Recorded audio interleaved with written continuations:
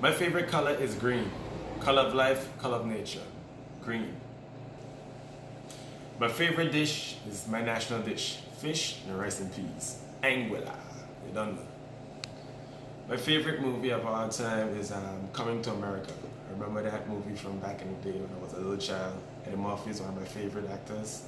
Coming to America.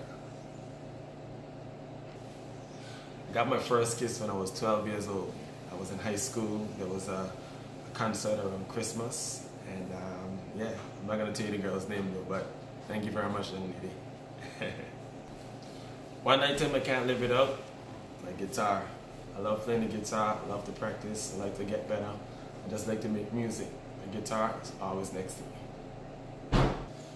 Three songs on my playlist. Well, I've got a lot of songs on my playlist, but three songs which I listen to a lot of. My dad, Bankie Banx, Prince of Darkness, John Mayer, who's one of my favorite artists, New Lights, um, and I'm a big fan of Stevie Wonder. Yester-Me, Yester-You.